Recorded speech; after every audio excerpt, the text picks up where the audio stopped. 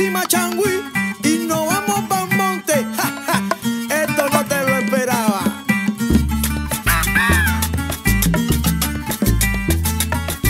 Eh, el guateque campesino con nueva sonoridad. La máxima y su destino